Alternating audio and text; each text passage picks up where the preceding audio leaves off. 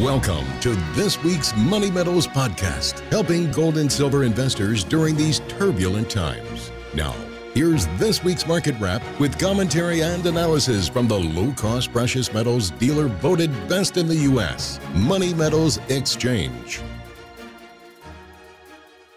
Welcome to this week's Market Wrap podcast. I'm Mike Gleason. Gold and silver markets slumped this week as stimulus talks faltered again in Washington. Even though the White House upped its offer to $1.8 trillion, House Speaker Nancy Pelosi refused it, not wanting to give President Trump any kind of political victory ahead of the election. Meanwhile, the president continues to campaign for stimulus. He is bucking Senate Republicans by offering to go even higher than $1.8 trillion. Here's what President Trump told Stuart Varney of Fox Business on Thursday. You don't expect a phone call from Speaker Pelosi, but you would go higher. How much yeah, I would, would and the Republicans will too. Because we like stimulus, we want stimulus, and we think we should have stimulus because it was China's fault. It was not the American workers' fault or the American people. If you want to up your offer up above 1.8 trillion, what would that extra money go to? It would go to the worker. It would go to the people, directly to the people so they can live nicely and their lives won't be shattered because of China. Okay. Have you told Secretary Mnuchin to get out there and offer more than 1.8 trillion? I've told him. So far, he hasn't come home with the bacon. Even if an agreement were suddenly reached to bring home the bacon, it would be nearly impossible this late in the calendar for additional relief payments to arrive in Americans' pockets before they go to vote. Perhaps that will clear the way for a deal to be reached. It's a near certainty that more stimulus will be coming sooner or later, one way or the other. A case can be made that sending cash directly to millions of Americans is a fairer and more efficient way of artificially stimulating the economy than other alternatives.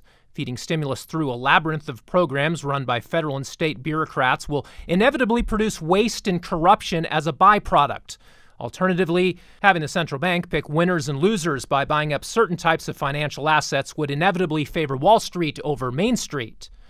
Of course, free money, however doled out, isn't without cost. The national debt recently topped $27 trillion. That represents an obligation of $216,000 per taxpayer.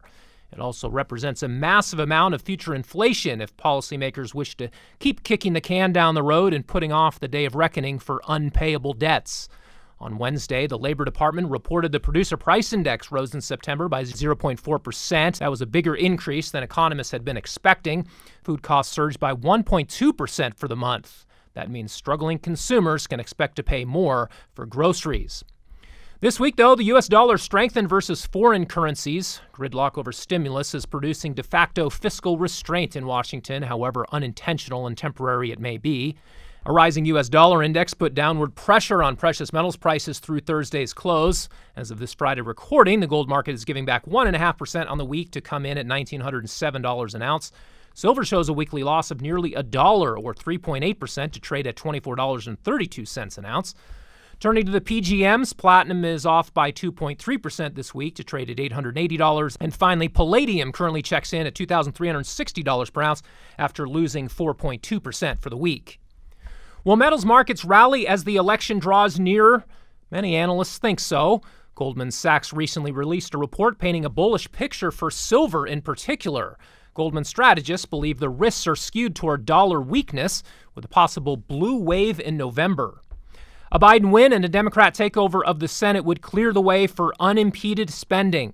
Every item on the left's wish list would be able to get rammed through with only token opposition from Republicans. Of course, Democrats now risk being overconfident about Joe Biden's apparent lead in the national polls. The election will be determined state by state, and Donald Trump seems to remain competitive in key battleground states he won last time around.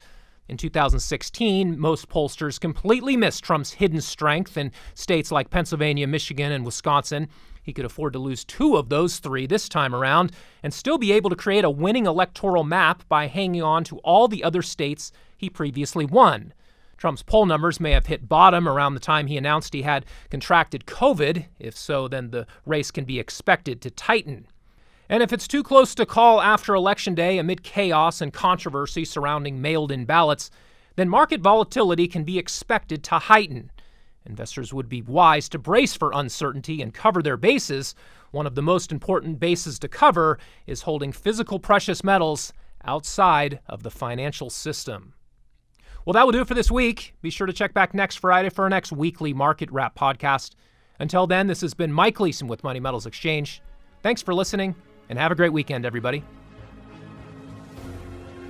Thank you for joining us for this week's Money Metals podcast. Be sure to come back next week. And don't forget to subscribe to our podcast through iTunes for answers to all of your questions or to discreetly and securely buy or sell gold or silver coins, bars, and rounds. Call 1 800 800 1865 or visit www.moneymetals.com. Our knowledgeable and no pressure specialists are standing by between 7 a.m. and 5:30 p.m. Mountain Time Monday through Friday.